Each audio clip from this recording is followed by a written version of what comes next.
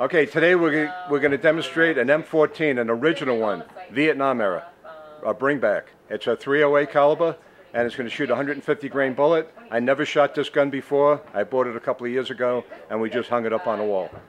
All right, let's go get it.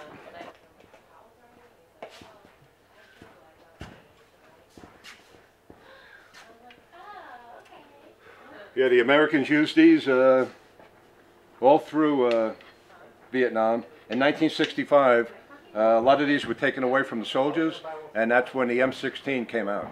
Uh, the Colt, the first time the soldiers were issued a plastic gun. Nobody liked them. I didn't either. This is a 308. The M16 was a 223.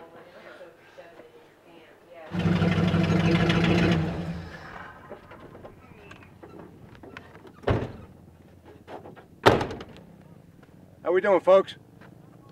This is my newest uh, machine gun, an M14 fully automatic Vietnam era.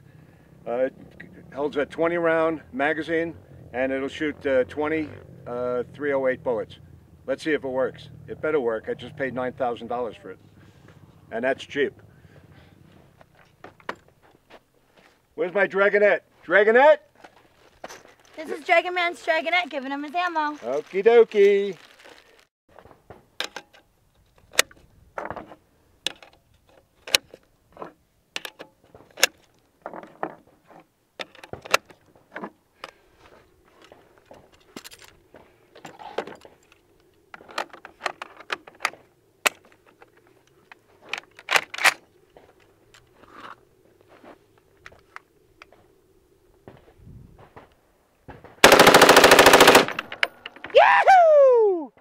Wow, that's something. This thing works great. It's got a lot of power. Vietnam era. 308 bullets.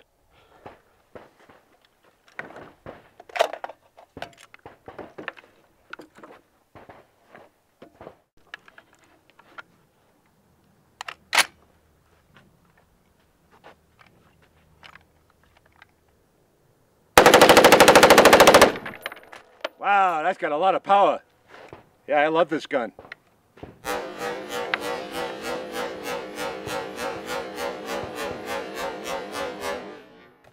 Pretty cool, huh? 20 rounds in like six seconds. Can't believe the U.S. government took this away from us, Vietnam era, and gave us a M16 plastic gun with a 223 bullet.